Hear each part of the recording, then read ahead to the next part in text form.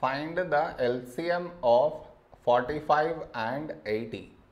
To find the LCM, for that we should frame it in this way 45 comma 80.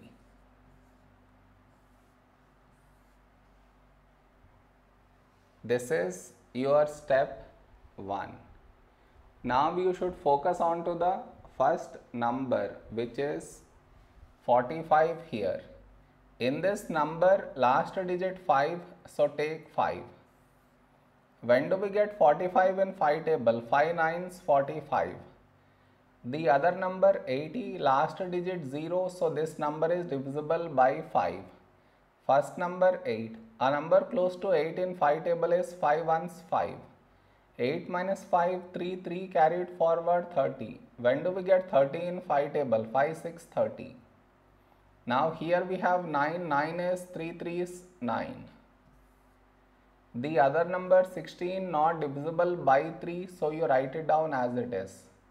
Now here we have 3, 3 is a prime number so 3 ones 3. The other number 16 not divisible by 3 so you write it down as it is.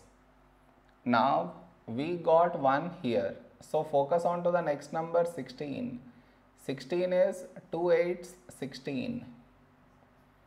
Now here we have 8, 8 is 2 4s 8. Now we have 4, 4 is 2 2s 4. Now we have 2, 2 is a prime number so 2 ones 2. So we got 1 in both the places. So our LCM is LCM is the product of these numbers.